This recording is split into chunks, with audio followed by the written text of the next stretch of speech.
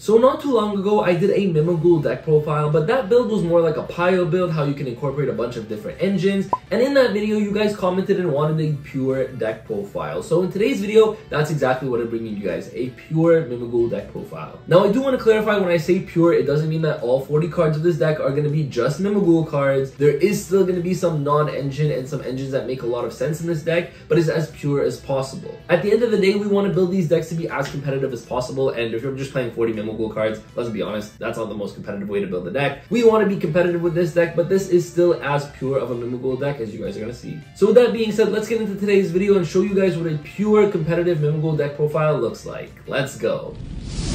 So just before we get into today's deck profile, I do want to mention that this is as pure as I can possibly make it. There's still going to be some few engines or some few card choices here that are not technically Mimighoul. So yes, this is a pure deck more or less, but there are some options in here that I think really boost the power of this deck and are really important to play in this deck, alright? So just keep that in mind. Hey squad, Spanko here to bring you guys a very important message. You guys see these Book of Eclipse, Book of Moon, and Fiendsmith Requiem deck boxes I have here? Well, you guys can win them for free. All you guys gotta do is head on over to my Instagram page where Card Castle 3D has partnered up with us to give away three different custom deck boxes, which means three of our squad members are going to be winners. All you guys got to do is head to the link in the description, follow the instructions, and you'll be entered in to win one of these three insane deck boxes. So big shout out to Card Castle 3D for partnering up with the Spanko squad today. You guys can win one of these three amazing, beautiful deck boxes. Check out the link in the description. And with that, let's get back into today's video. But first things first here is we're playing one master. I don't like playing two of this. I know there are options where you can play two, but I think playing one is perfectly fine. It's not that great in your hand. Honestly, a better normal summon would just be Mimighoul Dragon. So that's why we're maxing out on our Dragon. Dragon is one of the best normal summons in the deck. Master, you're always going to be getting off of your throne anyways. So one Master, three Dragon. We're playing three Archfiend, three Fairy, and one Slime. That's all the names that I'm playing. I'm not playing the new guy. I think Armor is a name. I'm not playing Cerberus. The reason I'm not playing all these different names is because they're not that great. And in a 40 card deck like this one, you don't really want to see the names as much as the other cards that you're going to see because some of your other cards are like one card starters. Uh, Dragon is a one card starter. Like this is the one that you want to see. Otherwise, you don't really want to necessarily see these. So you really want to cut down on the Mimighoul names as much as possible because you really want to get the job done. Once you get the job done with these cards, turn three, it comes back to you. You're going to be able to OTK and push for game. So that's why you don't want to be breaking on stuff like Cerberus or Armor or just all of these different names, right? Maybe if you're playing a 50 card deck, you can start putting more names in, but this is a 40 card main deck over here. So that's why I'm just keeping it as tight as possible. We are, of course, playing three Mimighoul Dungeon, though, one of the most important cards in the deck, as well as one Terraforming to get us to a dungeon. We're also playing three Maker and three Room. Room is one of those cards that you could potentially play two of. You don't have to play three Room, but I really, really like three Room because if your combos get stopped, essentially getting to, like, if you have a Room in your hand, you can still kind of do things on your opponent's turn, which is really important. That's why I really like three Room. Now, in the side deck, I'm going to be showing you guys the side deck, but typically in games two or three, if I know I'm going second, I'll side one or even two of these out sometimes so that I can make room for some board breakers and other cards, of course. But going first, you always want to have room, and the fact that you can play three of them means that even if your combo gets stopped, you still have access to room potentially, right? It just gives you more opportunity to have access to room, and room is one of the most important cards in your deck. So that's why we're playing this package over here. Maker is a one card combo, Dragon is a one card combo. We're really maxing out our one card combos over here, and then all of the important cards. Last thing I want to mention though, one more thing I want to mention is um, this is just going to be an honorary Mimighoul monster. So Kashtira Mimighoul,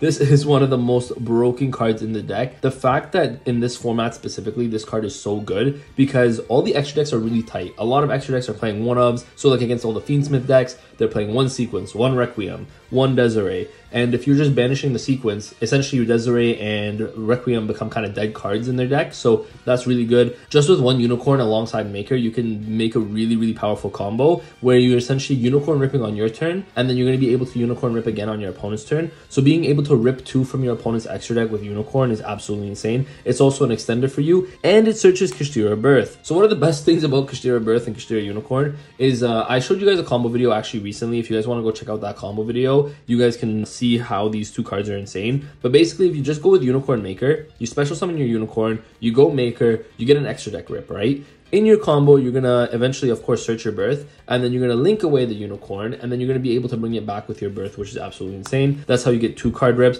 And then birth is also really good because on the field, if your opponent activates a spell card and it resolves, you can banish three cards from your opponent's graveyard, which is really, really relevant in today's format. So birth is also an absolutely insane card. And then lastly, we're just playing the one Azorne. This is a card that just helps you beef up your end board. That's why I'm playing the Azorne. You could play the other Silhouhatte Trap. Uh, I think it's called Silhouhatte Trick, Trap, trick. I can't remember the name, but uh, the other trap that you search off Silhouhatte Rabbit because uh, this card is really good, or the other one is not bad either, but this card is really good as well because it just gives you an added layer of disruption for essentially no cost, right? Like if you open this card, okay, sure, you just said it. If you don't open this card, your combo gets to this card anyways, so you might as well have that extra additional layer of disruption here as well. But yeah, Kashtira, guys, I get it. This is a pure deck more or less, but this engine is just way too broken to not play.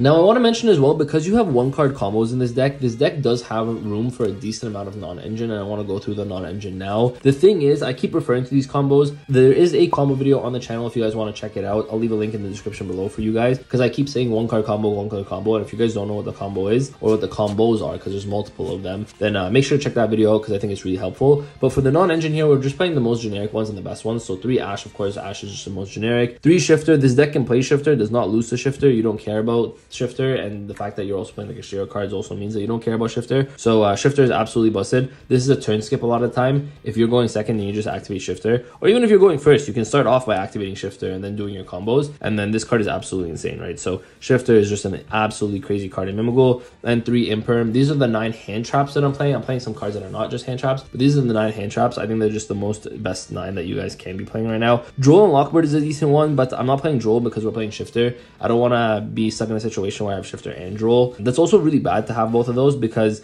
one, of course, you can't even activate Droll under Shifter, but two, Shifter a lot of the time against most decks is a turn skip anyway, so it doesn't really make sense to have two kind of dead cards in your hand with Shifter and Droll, whereas if you just open one of the other, it's better, and then Imperm and Ash both work under Shifter anyway, so if you need that extra layer of disruption, that's what Imperm and Ash are here for. But then we're also playing one Thrust, two talents, one called by, and one prosperity. That's it for the non-engine. Instead of playing three more hand traps, I'm playing three of these. And uh, these cards are really good for a couple of reasons. Called by and Pot of Prosperity, of course, are really good just to protect you, and this is for consistency. But talents and thrust are always live. And the reason they're always live is because if you're going first, you're going to be able to put a monster on your opponent's side of the field, flip it, and activate its effect, which makes your Unicorn live. That's why Unicorn is so good. But it also makes your Talent and Thrust live, which is really powerful because then you're going to be able to Talent, potentially draw two cards if you need to draw two cards. But if you don't want to draw two cards, not only are you setting up a board, but then you can also rip a card out of your opponent's hand with Talent. Thrust is really good because it gets you to Talent and gets you potentially to Imperm as well. And if your combo gets disrupted somewhere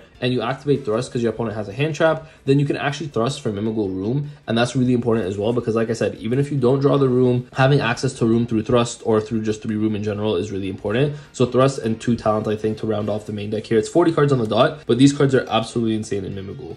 Moving on to the extra deck, we are playing two of the Giant Mimighoul as well as two of the Mimighoul Throne. These cards are, of course, really important in starting your combos and going through your combos. And on top of that, Throne is a disruption on its own as well. So these two cards, I think I would like to play two of these. I don't want to play one on one. I feel like one on one is not enough because you can go into them turns two and turns three. So two and two, I think, is perfect. We're one Kigaganshi Fucho. I don't even know if I said that correctly, but if I did, let me know in the comments. But this card is really good as well if you just don't have anything, you can just sit on this. One Ensemble Robin. This card is really, really good in this deck, and I actually underestimated this card for a long time, but I think it's really good because what'll end up happening is with your Mimighoul Dungeon, a lot of the time, you'll have a monster face down defense position on your opponent's side of the field. Now, Mimighoul Dungeon says any player who controls a face down monster cannot normal summon monsters nor declare an attack. Now, why is that really good? So, let's say your opponent has a face down monster they can't normal summon, but let's say they're able to special summon, whether it's with Diabellstar, whether it's with E-Telly, whether it's there's so many different cards that can special summon card. Ensemble Blue Robin has a really cool effect where when your opponent special summons a monster, you detach a material, target one of those special summon monsters, and return it to the hand. So, you're locking them out under your normal summon, and then you're going to be able to bounce them from their special summons as well. So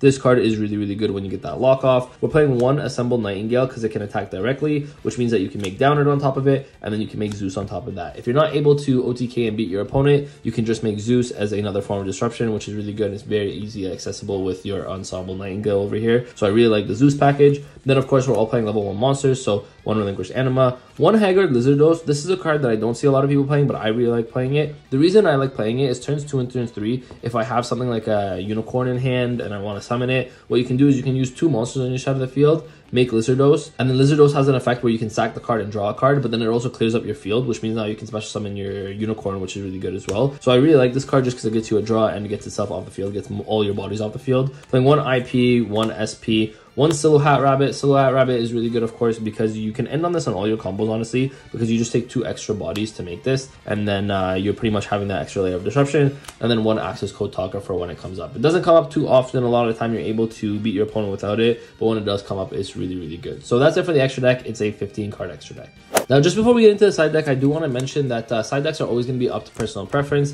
If you guys have a locals that are all combo players, you make sure to side for combo. If you have a locals that's all uh, backrow players, you make sure to side for that. But I just want to show you guys a skeleton of a uh, side deck that you guys can play that I think is really, really powerful. So three Droll and Lockbird, it's really good in today's format. If there ever is a deck that Shifter is not great into, I usually side out Shifters for Droll and Lockbird. This is stuff like Kashtira, this is stuff like Labyrinth, and uh, other decks as well where Shifter is not that good. You just side in Droll and Lock. We're playing the second thrust. We're main decking one, but we're playing a second one. The reason we're playing a second one in the side is because we're playing some thrust targets. So one Harpy's Feather Duster for back row, two Raigeki, two Dark Ruler No More, two evenly matched. So this is all for going second over here. As you guys can see, the deck is so good already going first because of the combos it can do. So you need to side pretty heavily for going second. And it doesn't matter if you're going second if you're not able to OTK your opponent because in combination of Dark Ruler plus evenly matched or Imperm because you're playing Imperm in here, Imperm plus evenly matched can be really, really good as well because it breaks a lot of boards just with these two cards. And then of course Raigeki, we all know how powerful Raigeki is. So I really like these breakers. I think breakers come in a lot of the times when you're forced to go second. You side out a lot of engine, for example, like you side out Room, like I talked about. If there's uh, matchups where Kashtira Unicorn is not that good into, you can side that out. If you're going second, you can also side out the statue because that card is not really good going second. It's better for going first. So there's a lot of cards to side out for these cards going second. It becomes really powerful in that sense. And then we're also playing for going first, three barrier and one different dimension ground. Different dimension ground, of course, you can search it off the thrust. Same with D barrier, but I like playing 3D barrier because against a Tenpai matchup, you really, really need this card.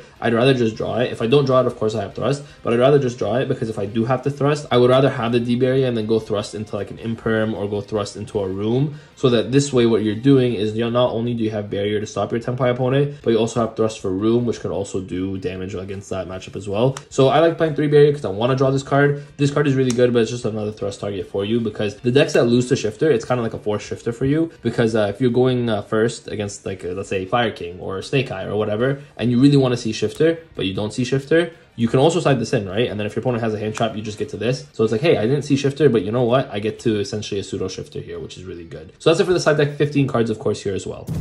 So that is it for today's video. I hope you guys did enjoy. That is my take on a pure competitive Mimighoul deck profile. Yes, you're still playing the Kashtira package, but honestly, the Kashtira package is so important in this deck, it might as well be a Mimighoul package at this point. We all know, oh, Dominus Impulse is a card that kind of counters it. Okay, I get it, but it doesn't mean you shouldn't play this deck just because that card exists. This deck is still really fun and still can be really, really good in today's meta. So if you guys did enjoy, make sure to like the video and subscribe to the channel for more Yu-Gi-Oh content just like this one. We do deck profiles, combo videos, vlogs, all that good stuff, product openings. It's right here on the channel. So if you guys want to stay tuned and watch all of that, make sure to subscribe. I appreciate every single one of you. With that, Spanko, signing out. Peace.